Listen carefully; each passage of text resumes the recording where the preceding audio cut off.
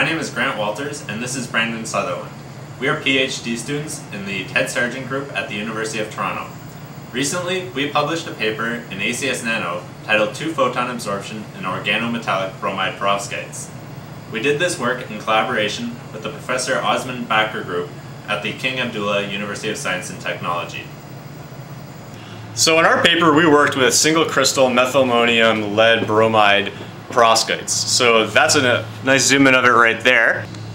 So what are perovskites? Well, traditionally, semiconductor devices are made with silicon or gallium arsenide, and these materials are grown under high temperature and often ultra high vacuum processes. So these perovskites are a new type of semiconductor material, which is grown from the solution phase. These materials have applications in mass manufacturable cheap optoelectronic devices. We sought to use them for applications in nonlinear optics, specifically for ones that use two-photon absorption. So Grant, what is two-photon absorption? Well, Brandon, two-photon absorption is a nonlinear optical effect that occurs under intense laser irradiation. It occurs when two photons are simultaneously absorbed by the material. These photons each have energy less than the band gap of the material. So to measure two photon absorption, we need an ultra high intensity light source. So to do that, we're going to use a laser.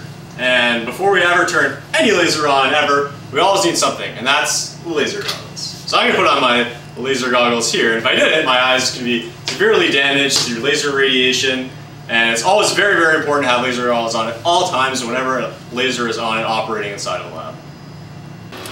So now our laser's on, I have my laser goggles on, and I'm all safe to work with it. We're going to actually go about demonstrating two-photon absorption in these perovskites. So typically semiconductors can only absorb light when the incoming photons are of energy greater than or equal to its band gap.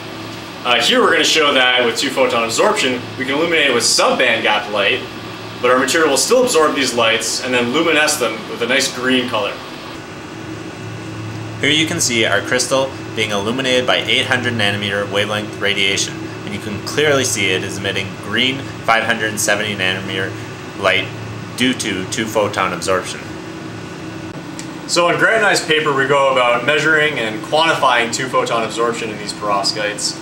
And we also use it to an application, or we use it to measure the pulse width of our ultra-fast laser down to 100 femtoseconds. So if you're interested in that work, go check it out online ACS Nano.